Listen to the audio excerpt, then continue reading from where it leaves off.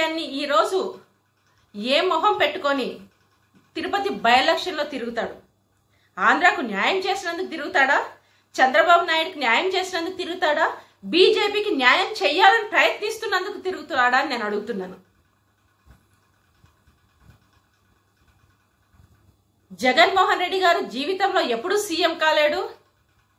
ఒకవేళ జగన్మోహన్ రెడ్డి గారు సీఎం అయితే నేను సినిమా రాజకీయం వదిలేసి రాజకీయాన్ని సన్యాసం తీసుకొని సినిమాలు చేసుకుంటానని చెప్పిన పవన్ కళ్యాణ్ ఈరోజు జగన్మోహన్ రెడ్డి గారు సీఎం అయిన తర్వాత ఇదే బీజేపీతో కుమ్మక్కై బీజేపీకి అనుకూలంగా బీజేపీకి బినామీ పార్టీగా ఈరోజు ఎలా పని చేస్తున్నాడని నేను అడుగుతున్నాను.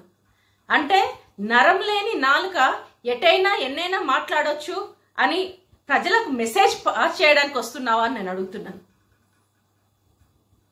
బీజేపీకి ఏమని ఓటేమని అడుగుతావు? ఆంధ్ర కన్యాం చేసినందుక? లేదంటే దేశ రాజకీయాలను తీసుకుంటే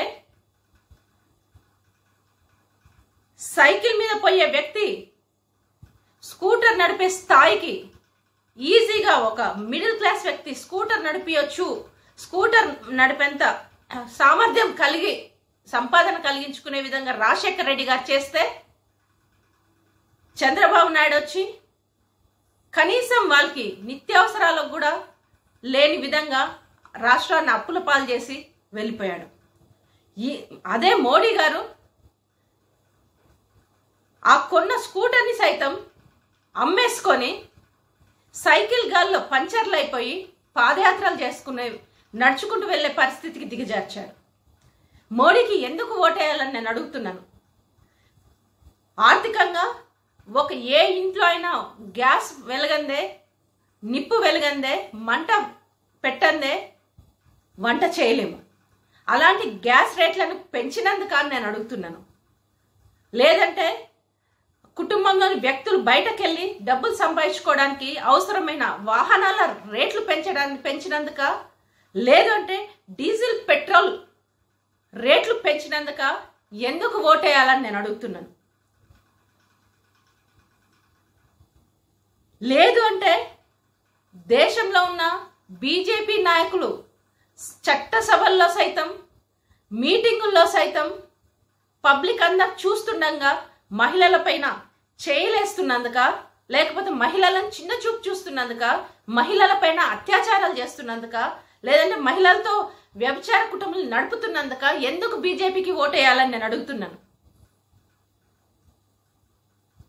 ఇది ఇదే పవన్ కళ్యాణ్. మోడీ గారిని ఎన్ని విధాలుగా విమర్శించాడో మనందరికీ తెలుసు. తిరుపతి ప్రజలందరూ గుర్తుపెట్టుకోవాల్సిన విషయం. గతంలో టీడీపీ బీజేపీ నాయకులు వస్తే గుడ్లతో విసిరి పంపారు. చెప్పులతో విసిరి పంపారు. టమాటాలతో విసిరి పంపారు.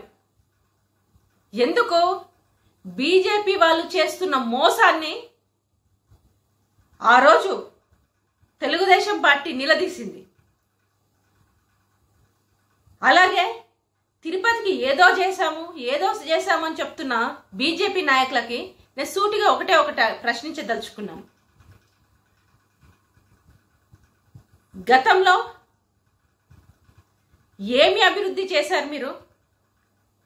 బీజేపీ ద్వారా టీటీడీకి కానీ లేదంటే తిరుపతి పార్లమెంట్కి కానీ ఏమి మంచి జరిగిందని నేను అడుగుతున్నాను. అసలు ఓటు అడగడానికి మీకు నైతిక హక్కు ఎక్కడిది అని నేను అడుగుతున్నాను. జగన్మోహన్ రెడ్డి గారు చెప్పారు ఎంపీ సీటు మీకే వదిలేస్తాము. మాకు ప్రత్యేక హోదా ఇవ్వండి. ఈ రోజు కూడా మీరు ప్రత్యేక హోదా ఇస్తాము అంటే మా ఆంధ్ర రాష్ట్ర ప్రజలందరి తరఫున మేము సంతోషంగా ఎంపీ సీటు వదులుకుంటాము. మీరే ఎంపీ అయిపోండి. మీరే బై ఎలక్షన్స్లో మేమంతా కూడా యునానమస్గా మీకు సపోర్ట్ చేస్తాము. మీరు ఎంపీ అవ్వండి అని ఒక మంచి ఆప్షన్ ఒక మంచి ఛాన్స్ ఇస్తే మీరు ఎందుకు ప్రత్యేక హోదాని పక్కన పెట్టి బరిలో దిగుతున్నారని నేను అడుగుతున్నాను. అంటే ఆంధ్ర రాష్ట్రానికి చేసేది ఏమీ లేదు. తిరుపతి బై ఎలక్షన్స్లో ఏదో చేశాము ఎంతో చేస్తున్నాము ఇక ముందేమో చేస్తాము అని కలరింగ్ చేయడానికి ఈరోజు బీజేపీ వాళ్ళు పవన్ కళ్యాణ్ వస్తున్నాడా అని నేను అడుగుతున్నాను. మోడీ గారి ప్రభుత్వం వచ్చిన తర్వాత ఈరోజు వరకు ప్రత్యేకంగా ప్రత్యేకంగా ఆంధ్ర రాష్ట్రానికి స్పెషల్గా ఇది చేశాము అని చెప్పగలిగే ఒకే ఒక ఏదైనా ఒక విషయం ఉందని నేను అడుగుతున్నాను. కాబట్టి ప్రజలందరూ ఆలోచించాలి. ఈ దొంగలు వస్తున్నారు దొంగల మూట వస్తుంది దొంగల బ్యాచ్ వస్తుంది. వాళ్ళందరికీ తెలుగుదేశం పార్టీకి ఎలాగైతే బుద్ధి చెప్పి పార్టీ నామరూపాలు చేయకుండా లేకుండా తన్ని తెరమేశారో ఆంధ్ర నుంచి అలాగే బీజేపీని కూడా తన్ని తెరమేయాలని చెప్పేసి నేను ప్రతి ఒక్కరికి విజ్ఞప్తి చేస్తున్నాను. ఆంధ్ర రాష్ట్రంలో తిరుపతి బై ఎలక్షన్స్లో వైసీపీకి ఇచ్చే ఈ ఓటింగ్ బ్యాంక్ని ఢిల్లీ దద్దరిలేలాగుండాల మనం వేసే ఓట్ ఎలా ఉండాలి అంటే ఢిల్లీలో బీజేపీకి బొమ్మ కనబడాల? ప్రజలందరూ ఒకటే అర్థం చేసుకోండి. ప్రజాపాలన ఎవరిది? పబ్బం గడుపుకునే పాలన ఎవరిది? ప్రజాపాలన ఎవరిది? పరల కోసం పనిచేసే పార్టీలు ఏవి? ప్రజలను మభ్యపెట్టే పార్టీలు ఏవి? ప్రజల శ్రేయస్సు కోసం పనిచేసే పార్టీలు ఏవని? కాబట్టి మీరందరూ కూడా జగన్మోహన్ రెడ్డి గారికి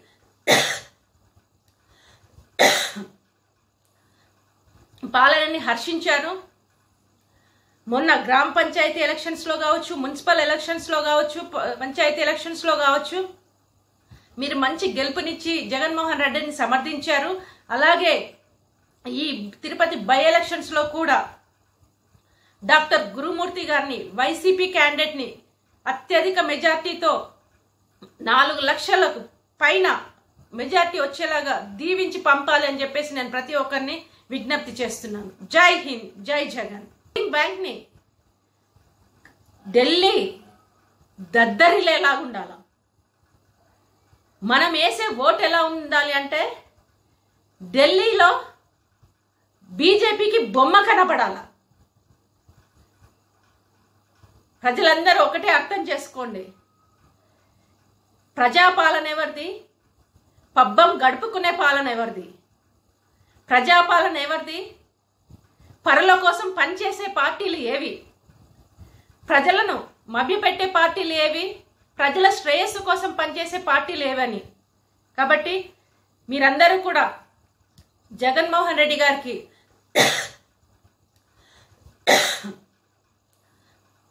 పాలనని హర్షించారు. మొన్న గ్రామ పంచాయతీ ఎలక్షన్స్లో కావచ్చు మున్సిపల్ ఎలక్షన్స్లో కావచ్చు పంచాయతీ ఎలక్షన్స్లో కావచ్చు మీరు మంచి గెలుపునిచ్చి జగన్మోహన్ రెడ్డిని సమర్థించారు.